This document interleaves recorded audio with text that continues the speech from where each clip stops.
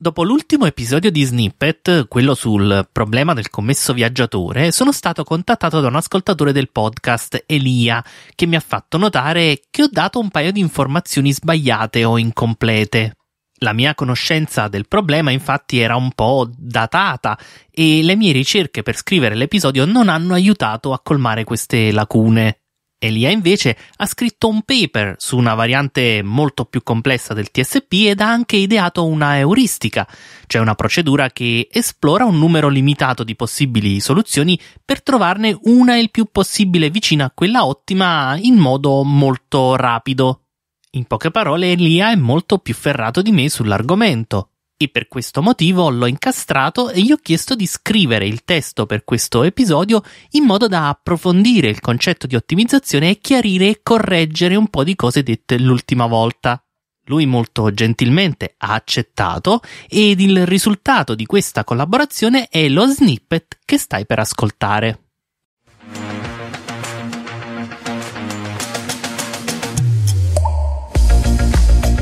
Benvenuti su Snippet, una rubrica di pensieri in codice. Pillole e aneddoti dal mondo dell'informatica in meno di 5 minuti.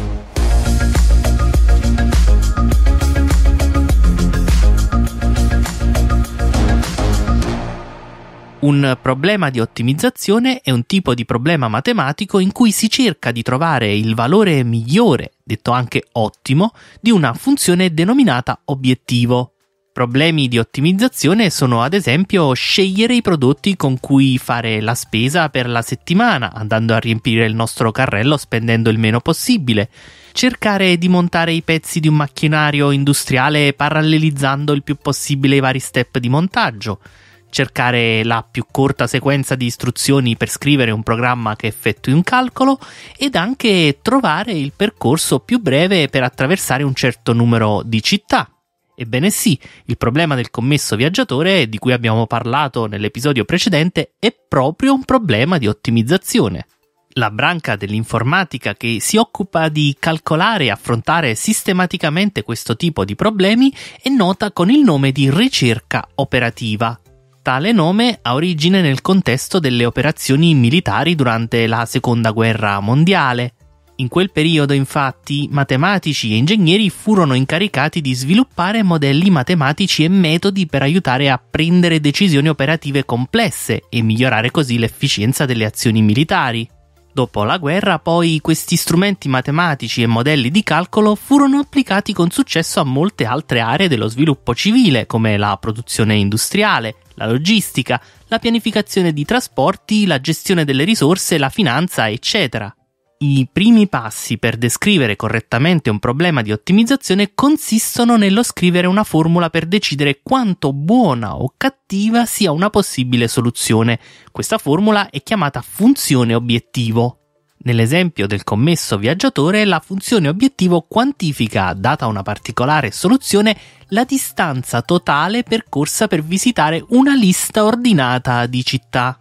Tale funzione è quindi una sorta di bussola che permette a chi calcola le varie ottimizzazioni di capire se sta migliorando o peggiorando la soluzione individuata, in quanto lo scopo dell'ottimizzazione è proprio quello di massimizzare o minimizzare la funzione obiettivo.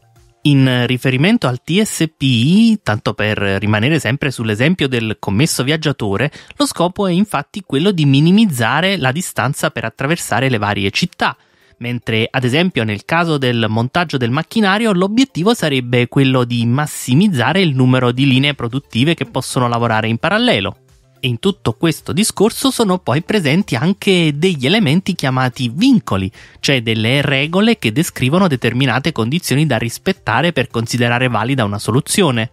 Tornando ancora una volta al TSP, una soluzione è valida solo se visita tutte le città nella lista, Oppure nell'esempio del carrello della spesa da riempire, un vincolo potrebbe essere quello di totalizzare almeno un certo quantitativo di calorie da consumare in un giorno.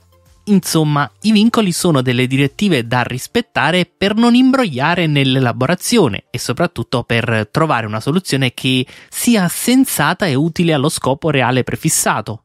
Infine, l'ultimo elemento del problema è rappresentato dalle variabili, ovvero le varie scelte che si possono compiere per trovare una soluzione, Nel TSP le variabili potrebbero ad esempio essere un numero per ogni città che rappresenta l'ordine di visita. Tutti questi che abbiamo descritto sono i vari elementi di base per la modellazione che permettono a matematici e informatici di rappresentare in maniera precisa e sintetica un problema di ottimizzazione. E partendo da tale modellazione si può notare un fatto molto interessante e probabilmente controintuitivo, cioè esistono problemi per i quali è molto complesso trovare una soluzione, ma è paradossalmente molto semplice verificare se una data soluzione è corretta.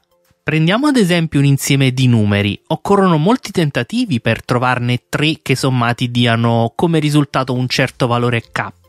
Però, una volta ottenuta una tripletta, è invece molto semplice verificare se essa rappresenti una soluzione corretta o meno.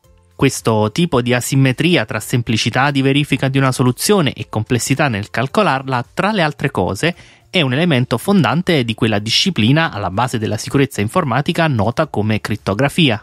Ma tornando al nostro TSP, nello scorso episodio ho erroneamente detto che non saremo in grado di verificare la soluzione adottata dalle api per spostarsi di fiore in fiore perché per noi è impossibile calcolare l'ottimo quando il numero di nodi è troppo elevato. Beh, in realtà questo non è vero.